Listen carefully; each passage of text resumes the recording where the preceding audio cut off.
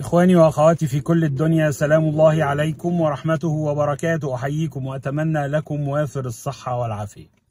من الحاجات اللي بتوجع القلب جدا لما يجي مريض آه، من كبار السن أمهاتنا وإخواتنا الكبار آه، وآبائنا ومعاه ولاده أو معاه شباب صغير أنا ما أعرفش دول ولاده ولا مين ويبتدي أنت مثلا هو عنده تآكل في الركبة من الدرجة الرابعة اللي هو في السن ده آه، تزحزح فقاري ومشاكل في العمود الفقري اللي هي بتاعت ال ال ال ال ال ال بتاعت السن ده. طيب لو هو ما عندوش في في حلول في الطب يا إما يروح يعمل جراحة وربنا يتولاه أو نعمل له حقن وتردد حالات. الشباب اللي معاه بيبقوا أو الناس اللي معاه بيبقوا إيه عايز يعني مش عايزين يعملوا له حاجة للأسف. فيقول لك يعني هو الحقن والتردد هيجيب نتيجة؟ الله أعلم ما أعرفش. يعني لو عملنا له تسليك بالقسطره مش هيرجع بعد كده. تقولوا محتاج جراحة. فبيصعب عليا الأب أو الأم ده من تفكير إن هم عايزين يخلصوا للأسف. ف و... و... ومش متحملين خالص. يعني طب خلاص طب أنا مش عارف أعمل إيه؟ فبحس إن في مشكلة في الفلوس.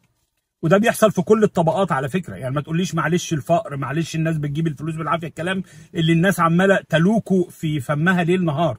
ده بيحصل مع الأغنياء والفقراء وكل حاجة. تمام؟ هو مش عايزين يصرفوا عليه حاجة إلا وهم ضامنين انها هتجيب نتيجة عشان ما يوجعش دماغهم للأسف.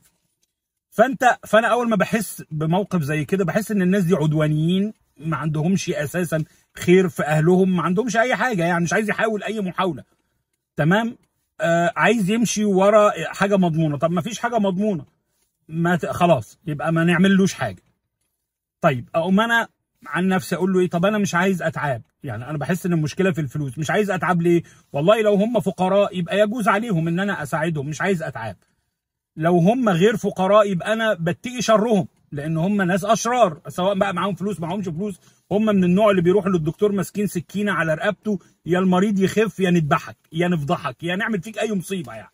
ففي بلطجة كتير على كل المستويات أغنياء وفقراء متعلمين وجهلاء من صفوة المجتمع. ناس انت تحس إنهم راقيين وهم بنشوف في العيادات ما لا عين رأت بصراحة يعني.